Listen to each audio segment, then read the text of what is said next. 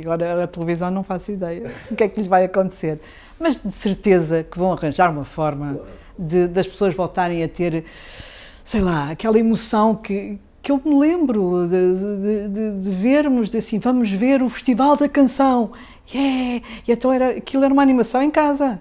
Uh, fazíamos, votávamos, sei lá, porque era uma coisa familiar, era uma coisa que reunia a família. E aquilo que eu sinto é que cada vez menos a televisão reúne a família.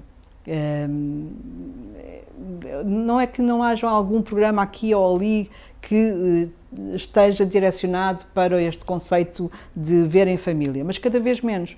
E há uma coisa muito importante que quando estava a falar das revistas de televisão, que eram revistas de televisão, mas que a partir de determinada altura, mais precisamente quando se iniciou o primeiro Big Brother em Portugal, uh, o conceito televisivo e o conceito uh, de revistas de televisão também mudou radicalmente. Isso foi uma mudança também uh, muito grande em termos de, de, de abordagem televisiva, porque de repente apareceram umas pessoas que ninguém conhecia e que passaram a ser famosas.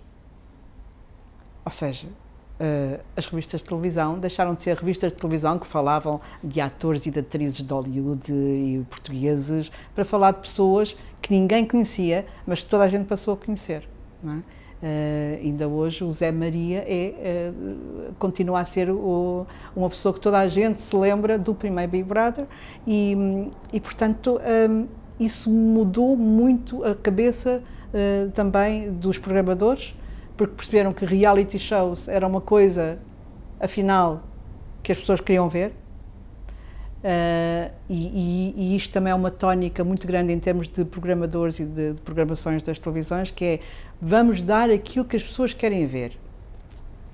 E isso é tão relativo.